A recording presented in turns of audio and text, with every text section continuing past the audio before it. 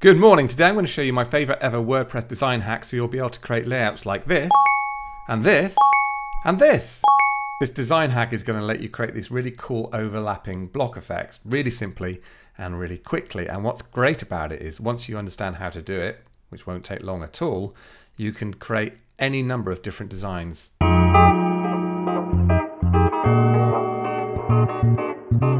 First, to help you understand how this actually works, a tiny weeny weeny bit of theory. So the key to understanding how to do this hack is pretty straightforward, but what we've got is we have a container block. Excuse my bad drawing here.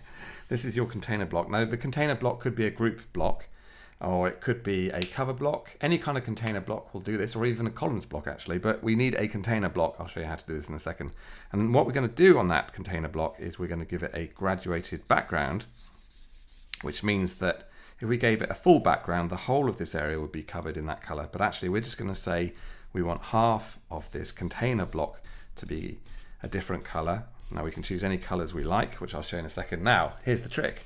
What you do then is you get another block or blocks, and this can be any blocks, and you place those blocks halfway or whatever proportions you like within that original container block. So this could be a um, video block, for example, within here, or it could be an image block. And that means when that's displayed, it'll look like it's overlapping. But actually all we're doing here is we're creating a gradient background with some blocks that are cutting or dissecting or bisecting that gradient background. Let's get into how you do it. Right, let's build out this page. I've kept my picture over on the right for reference. So I'm going to start by adding a group block. So I'm going to type forward slash group uh, just to add the group block and then hit return and that will add the group block into the page. The group block essentially is a container block. So let's click on the list view and we can see all we've got in this page at the moment is a group block. But we're going to add a gradient background. So we're going to come over here to the block settings, click on background just over here. And this is where we can set the background. It'll be set by default as a solid background, but we want this option here, gradient.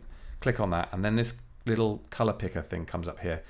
It's slightly confusing to be honest, but we've basically got two color points by default so I'm going to start with this one on the left, which is going to be the top one. I'm going to make that black. You'll see we've got this kind of purple one over here. I'm going to make this one over on the right here white because I just want a black and white effect at the moment. Now down here at the angle, you'll see, you can see this little pointer here, which is telling us the angle, which is the wrong angle. We basically want it vertically downwards, which the angle is going to be 180 there. So, so just pop that in there. I'm not sure I've done that right. Yep, so 180 down there and it's still not right. Now this is where it gets uh, cool. What we have to do is move both these points here because we don't, I don't really want a sort of gradient back, gradient background. I want a very firm background where we go black and then we go white. It's up to you, but this is the way I'm doing it today. So you just move each of these points so they basically meet right in the middle and you'll see you kind of can see what's happening up here. It won't look like we want at the moment because our group block is tiny at the moment. The group block will just flex to fit whatever content is within it. And the way to think about this gradient picker down here is if you wanted 50-50 of your container block to be 50% white, 50% black, then you would align this 50-50 down here. Conversely, if you wanted 25% black at the top and then 75% white at the bottom, you would basically start the black, finish the black around here. So that's the way to think about this. Right, next up we need to actually add some more blocks within this. Now the trick here, the kind of secret sauce, is to add another group block within your existing group block. We do that because when we add another group block within the first group block, we can actually determine how wide that group is going to be. Let me show you. So I'm going to click on the plus sign just here. You might need to hover over it to see it. I'm going to search for a group again. I'm going to add another group block. So now we've got two group blocks. The top level group block up here, which we've added a gradient background to, and another group block within that one. But now we can add any block we like within that other group block. Let me show you. So I'm going to add the cover block within that, like so. And I'm going to choose a photograph to be the background of my cover block. There we go. There's my photograph. Uh, it's not looking quite how we want at the moment, but let me show you this. So within this group block, and I actually can actually go in here and I can change the width of that group block or that container block, which will inherit that. So we can change the size of the inner blocks. Now all we have to do is add a bit of space. I'm going to change that back. Now all we have to do is add a little, bit of space above this so we actually can see that it's actually kind of overlapping properly. So within this group block, I'm going to go insert after, and I'm going to drag the paragraph block within that group block.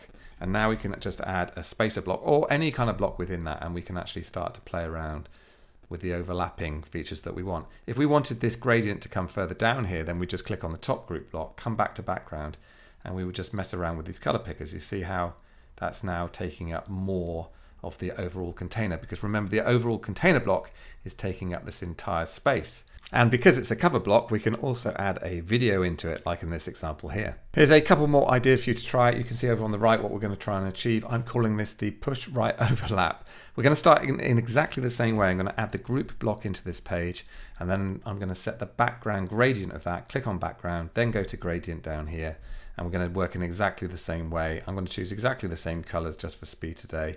I'm going to go black to white, Oh, I've lost my picker, go back to background. And then I'm going to move these color points here.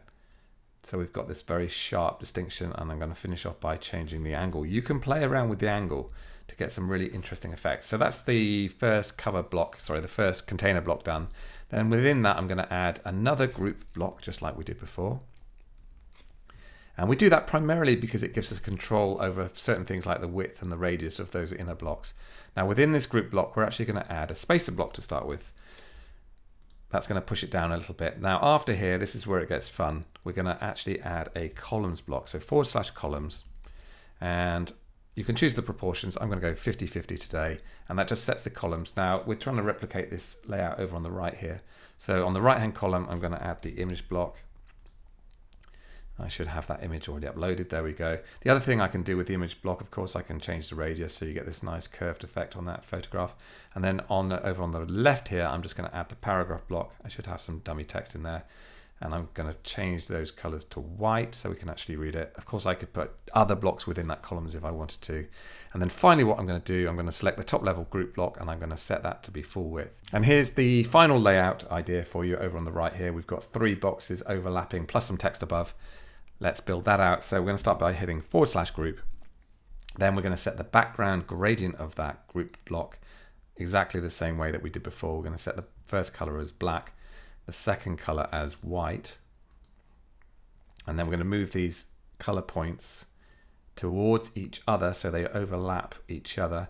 Then we're going to change the angle. I'm sticking to 180. And then we're going to add a group block within that block, just like so. And again, that lets us basically have more control over that. Let's click on the list view so we can see what we've got. Now we're going to add the spacer block within the second group block. Then we're going to hit return and add a columns block to start with. But we're just going to add some text within each of these. Now remember the gradient has to fill the whole container block. That's why this is going to work in the end. Then we're going to come down on the columns block and we're going to go insert after and we're going to add another columns block after this. And in this case, we're going to add three columns, and then within each of these columns, we're actually going to add a cover block, like so. If I could type, let's go cover, and then we're going to choose a photo. What I'll do for speed today, I'm just going to actually duplicate each column block. Let me remove each of these. I'm going to click on this and duplicate this one, and then I'm going to duplicate it again this is a really quick way of working if you're ever working within columns. I'm going to change the text color of these paragraph blocks up here to white.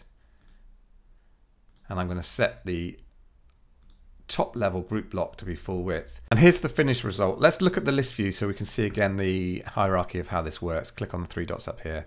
Here's the list view. So we've got the top level group block. Within that, we've got a secondary group block.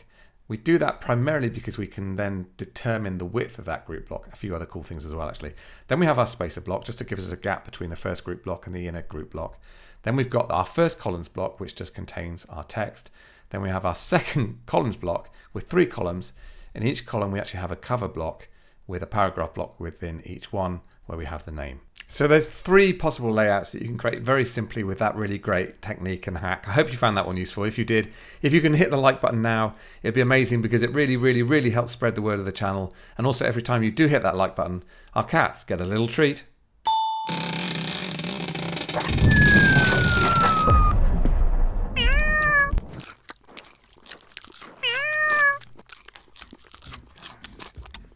If you want to see more videos like this, hit that subscribe button below and you'll be notified every time I release a new one.